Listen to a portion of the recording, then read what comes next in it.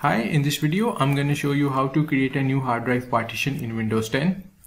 In order to create a new partition you need to have some extra space available on your hard disk.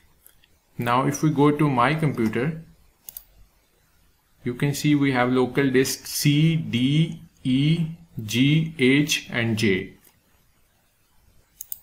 To create a new hard drive partition right click on start menu icon and click on disk management. As you can see, we have 463 GB of unallocated free space available on disk 1. In order to create a new hard drive partition, right click on this space and choose new simple volume. Click next. Now this is the free space available on your hard drive. If you want to create a single hard drive partition, then click next. Otherwise you have to specify the size of your partition here. Now we are creating a single partition. So click next. Assign the following drive letter. It's I. Click next.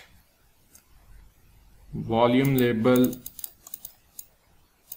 Let's say we data drive. Click next. Click finish.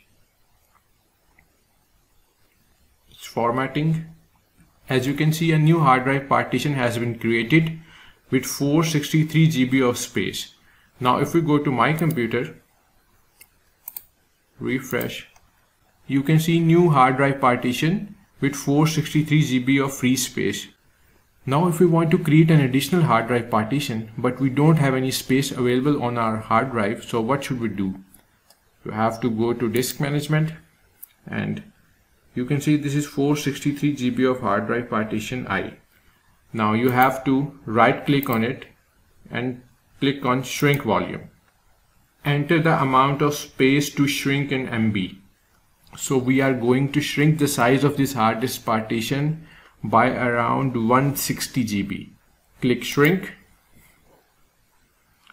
As you can see 167 GB of free space is now available.